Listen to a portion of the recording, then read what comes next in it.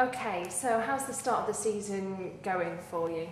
Well, it's good. I mean, we've uh, dropped three points in total. Uh, out of possible 35, we've got 32. Best start we've had for quite a while. So there's a lot of very big positives at the start of the season, um, but it's a matter of we've got a really tough six games coming up now. Um, starting against Hull on Saturday and then me away. So I think we'll know where we are more in about six games' time. Now, some people were speculating at the beginning of the season that perhaps your away form might not be that good, particularly as Jason Robinson was only playing the home games. But actually, you've done really well. Yeah. Well, I never actually said Jason was only playing the home games. Um, we're reviewing the situation on an ongoing basis. Um, currently, Jason is playing the home games. Um, but as you've said, we've played four away and uh, we've won four away. Um, but as I mentioned earlier, we've got Calder coming up and that will be a big test for us. But I'm very pleased that uh, we've actually won as many home games, uh, sorry, away games now that we did the entire season last year. So it's a, a good start. Yeah, compared to last year, I mean, what, what are you doing differently this year? Why is it working for you? Uh, I think we were besotted with injuries last season. We actually didn't have a bad start last year. We were getting points. Went to Hull um, at the start of last season, um, and if I looked at the program of that team compared to the program for this uh, coming Saturday, and you know there's a massive difference. Um, we were throughout the season we we're always struggling. We're up against it. with certain circumstances, and we just got into a rut um, after Christmas, it, it was very difficult, but we, we managed it. We actually got out of it by winning the Lancashire Cup against Preston, and then we finished the season relatively okay. Uh, but this season, we had a decent pre-season. Um, there's been new changes, you know, in personnel. Um, we've freshened up the squad. Um, and there's been a really good positive vibe around the place. So it, a, a lot of rugby and sport is confidence and belief. And uh, you know, we're playing with that at the minute. Is part of that belief coming from maybe Brian Ashton? What impact is he having on, on the players? Well, Brian is a, an exceptionally good coach. Um, I think that the philosophy I've always had is a very attacking minded philosophy. Um, a lot of that was influenced actually by Brian when I was a player. Um, so I think it's great that I can expose the players to that kind of um, mentality, which is it's not attack at all costs, but it's a very positive putting opposition under pressure. Many sides um, at all levels, including international, struggle grasping that philosophy. Um, probably the only team at the moment in World Rugby that actually understands it is the All Blacks. Um, so with Filed, we're trying to train the way we play, which is this putting pressure upon opposition from any given part on the pitch, which doesn't mean it's spraying the ball about. I've still got a lot of structure to the game, but within that structure there is a philosophy of attacking the game line and attacking the, the space that the opposition leave or we create the space for us to attack into. And Brian is very articulate at, in, in that area. uh, and that's transferring across into the players.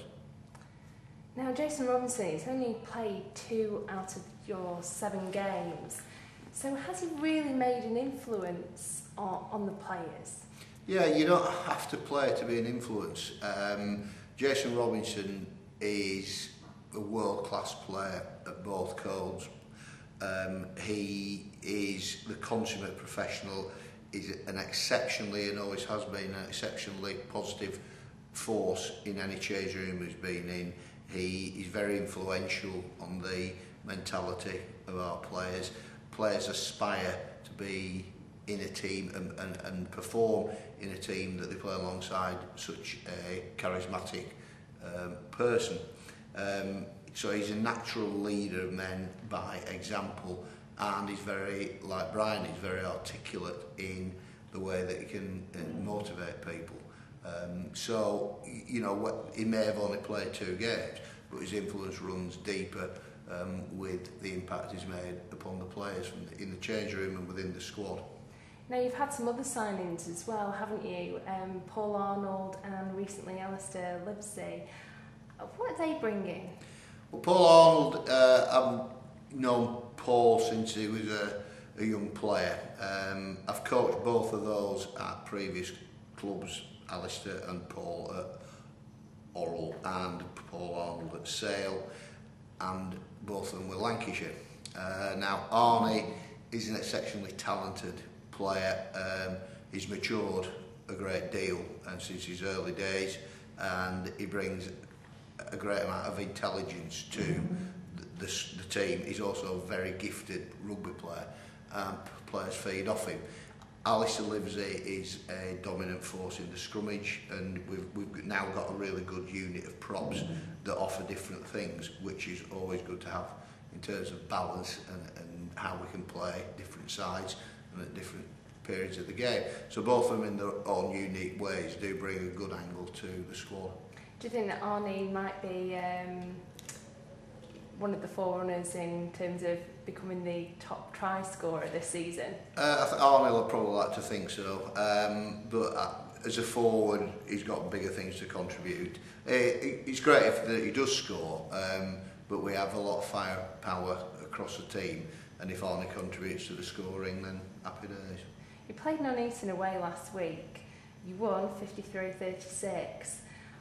Can you give us just a brief review of the game some people are saying that perhaps the defence wasn't that good, that perhaps you let in too many tries. It was a crazy game because we didn't kick any of the conversions uh, and we'd scored four tries within 15 minutes and effectively been brutally honest after five minutes we were never going to lose it um, so it felt like we won the game but the maths of it was that we, they scored two tries and got a penalty and we were only 22-17 up just before half time. Managed to get another try before half time, but then extended that lead to 51-17. So effectively we were playing on a field um, away from the main stadium uh, against a side who just decided to throw caution to the wind and to be fair to them they stuck at it we tried to play Harlem Globetrotters type basketball, rugby, it didn't come off. They scored a bonus point try. However, we've addressed that this week. Um, but the, the Nuneaton game was a free kick up kind of game. It was a, a crazy, it was almost like an end of season game in the early part of the season. Um, so of stuff like that happens in sport. So looking ahead to this week's game, it's at home against Hull. It's one of your toughest oppositions to play. Um, are you tightening up? Um, in terms, no, we're gonna, we don't change our philosophy of play. The one thing that will tighten up is a focus on defending and tackling because we will aim to thwart their attacks and force turnovers, which enables us to play more with ball in hand. Um, so, again, last time out we, you know, we lost in the last minute to Leicester Lions, so we've got to, we know we've got to play for the full 80 minutes plus injury time and we've got to be focused and concentrate for that amount of time. As you say, it is a tough game. All games are tough. If we want to be and aspire to be at the top of the league and challenging, you know, we've got to face these, these games week after week. Are you making any changes to the team? Uh, in terms of his squad rotation, obviously Jason comes back in, Martin Walworth goes to the bench. Um, we're going to start Grant Ferguson and bring um, Dan Waller on as we go through the game. Uh, Steve McGuinness comes back in uh, at seven. He wasn't available last week. Uh, Ali Sutherland is progressing nicely as a run out in the uh, second team. Matt Gargi is coming back from injury. He needs a full game. He'll play in the second team as well. So, um, you know, there are certain movements within the squad, but essentially it's pretty much the core squad that's playing this Saturday. Ellie, thank you very much. Okay.